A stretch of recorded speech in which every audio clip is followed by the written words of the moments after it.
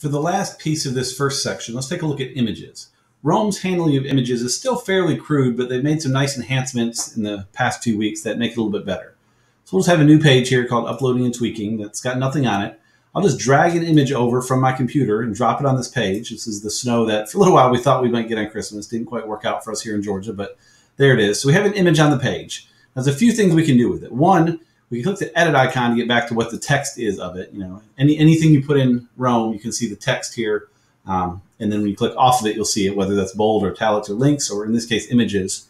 Um, of note here, this link to the image, this big long ugly link, is public. So it's unlikely anyone would just guess that. Um, but just know that anything super sensitive shouldn't go in here. If you have images, I would not upload them. They're super sensitive. But realistically, no one's ever going to find that, you know.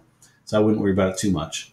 Uh, a few other things you can do. If you hover, you can get to the very corner here and size this down so you can see more on the page. That could be helpful. And then one thing I like that they really added, it's very simple, uh, but you can now click and see the full size of the image. So if you have a lot of images on a page, you can shrink them down and see them smaller and click.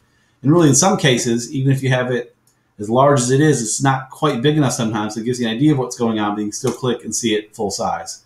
So nice little feature there.